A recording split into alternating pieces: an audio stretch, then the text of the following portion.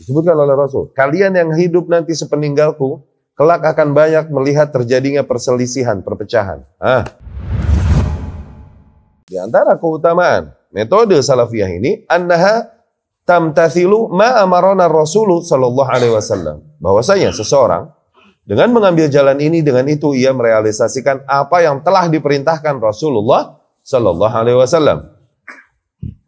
Ya, faqad qala alaihi salatu wasallam di mana Rasul sallallahu alaihi wasallam telah bersabda, kama fil hadits sabiq sebagaimana di hadis yang telah kita sebutkan, wa may ya'ish minkum fasayara ikhtilafan katsira. Kalian nanti yang hidup, kalian nanti yang masih hidup, kelak ia akan banyak eh, melihat banyak yang terjadi perselisihan ya perpecahan.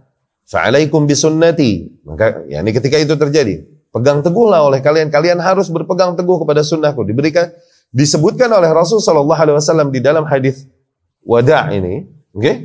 Permasalahan yang akan kalian hadapi dan kemudian langsung disebutkan solusinya.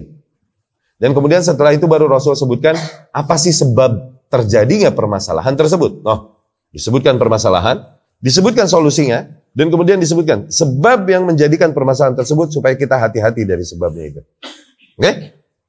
Yang menjadikan permasalahan tadi disebutkan oleh Rasul. Kalian yang hidup nanti sepeninggalku, kelak akan banyak melihat terjadinya perselisihan, perpecahan. Ah, tuh permasalahan. Terjadinya banyak perpecahan, perselisihan. Solusinya, alaikum bisunnati.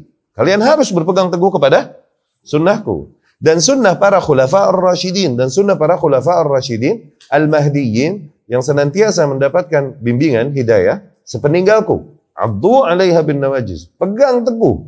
Gigit kuat-kuat dengan gigi geraham. Ya kan?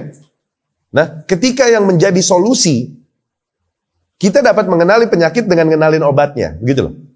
Yang menjadi solusinya adalah pegang teguh sunnahku. Tuh, itu solusi. Berarti penyakitnya apa? Lawannya sunnah apa? Nah, makanya disebutin wa iyyakum wa muhdatsatil umur. Jauhin deh perkara-perkara muhdats. No, dapat ya? فإن كل محدثة بدعة وكل بدعة ضلالة وكل ضلالة نبذة.